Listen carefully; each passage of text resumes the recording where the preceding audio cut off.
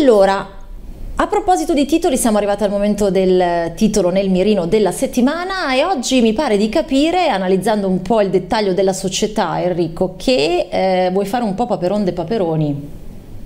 Beh, eh, Parliamo di una compagnia di estrazione dell'oro, giusto? Eh beh, eh, della, della, più importante al mondo. Appunto, appunto, quindi dico come Paperon de Paperoni andava a estrarre l'oro, esatto, il mito di Paperon de Paperoni, insomma, ehm, chissà cosa farebbe in questo, in questo, momento di mercato economico.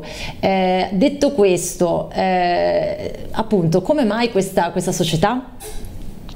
questa società perché eh, la mia idea è che il gold eh, sia sceso molto dai massimi in area 2000 dollari e avevamo detto che più o meno poteva raggiungere 1680, 1700 eccetera eccetera. Credo che potrebbe eh, ancora eh, scendere un po' eh, e il titolo Newmont Gold Corporation, eh, altrimenti detto Newmont Mining, ha un movimento simile e anch'esso potrebbe dare ancora una diciamo, una, uno, uno, strappo ribassista, secondo me il grafico lo evidenzia evidentemente. È un grafico che ci aiuta perché possiamo proprio paragonarlo abbastanza a quello del gold, quindi mm. ci può dare una sponda quando decideremo eventualmente di entrare in acquisto. E allora cominciamo... La società, sì, no, no, allora, no, no, no ti lascio finire e poi andiamo sul grafico. È appunto la, la, prima al mondo per estrazione eh, di oro, quindi cerchiamo sempre di segnalare titoli che magari il giorno dopo non chiudano perché sono troppo piccoli, qualcuno ci, ma, ci vada a maledire e quindi il settore è questo e poi c'è la solita analisi tecnica che secondo me anche su Newmont è estremamente chiara e possiamo iniziare se sei d'accordo a vederla con il grafico weekly. Sì, eccolo qui.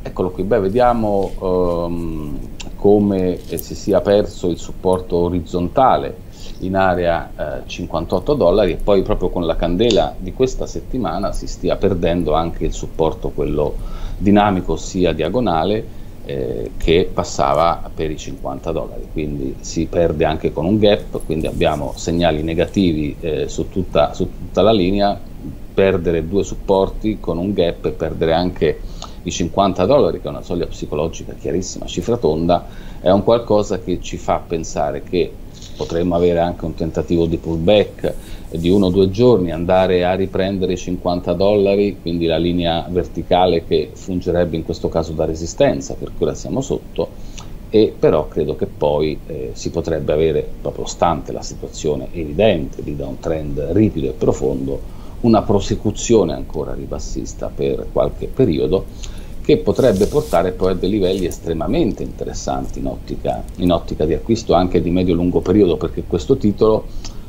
ehm, aveva i massimi in area 88, quindi ora siamo già con un meno 50% mm. circa. Quindi okay. il titolo più importante al mondo per l'estrazione dell'oro sta perdendo il 50% dai massimi. Dobbiamo metterlo, avendo un minimo di buon senso, in watch list.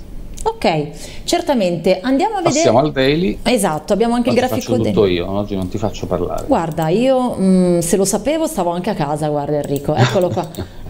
la prossima volta magari avvisami per tempo così eh, diciamo Guarda, la prendo faccio tutto io faccio esatto. tutto. eccolo qua il grafico daily. Allora il daily è altrettanto uh, chiaro il movimento uh, ribassista profondo ho messo il grafico lineare in questo caso perché qui non ci interessano pattern particolari di candele ci interessa attendere il livello che viene raggiunto. Il livello in questo caso da monitorare area 36 dollari perché vediamo essere un livello supportivo di lungo periodo, quindi dal 2019 e dal 2020, un livello supportivo doppio perché abbiamo la retta eh, orizzontale, quindi supporto statico, e la retta, la trend line dinamica, quindi quella leggermente inclinata, e insieme vanno a coincidere proprio in area 36 dollari quindi quello è un livello che se raggiunto probabilmente dovremo poi mm, vedere se tiene e se da lì inizia a rimbalzare e a quel punto credo sia ottimale cercare un acquisto di medio-lungo periodo.